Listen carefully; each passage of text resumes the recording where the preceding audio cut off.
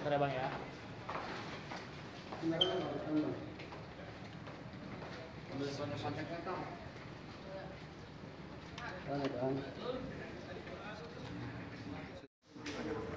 Baik, untuk rekan-rekan media, sore ini atas nama Pak Osman Sabtaudang, kami selaku kuasa hukumnya telah melakukan laporan terhadap tiga oknum kader Hanura yang secara terbuka membuat pernyataan di media online bahwa Pak Osman Sabtaodang sebagai Ketua Umum Partai Hanura yang sah melakukan penggelapan uang sejumlah uang sebesar 200 miliar. Yang kami sendiri tidak tahu bagaimana mereka mendapatkan bukti itu?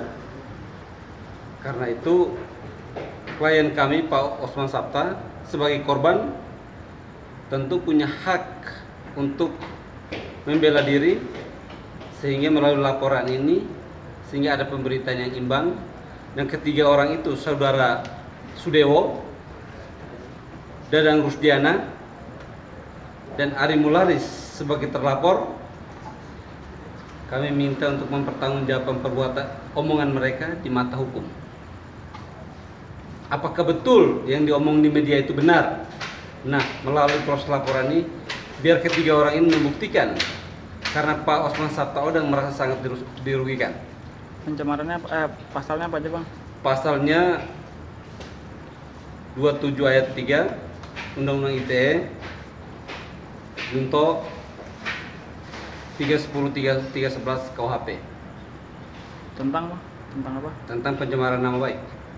Bang, itu yang sebelumnya eh, laporannya itu untuk siapa bang? Yang sebelum Laporan sebelumnya itu untuk Saudara Sarifudin Suling dan teman-teman yang lain yang melakukan munaslup dengan menggunakan dokumen yang diduga digelapkan dan dia pasal disangka 374, 263 dan 266.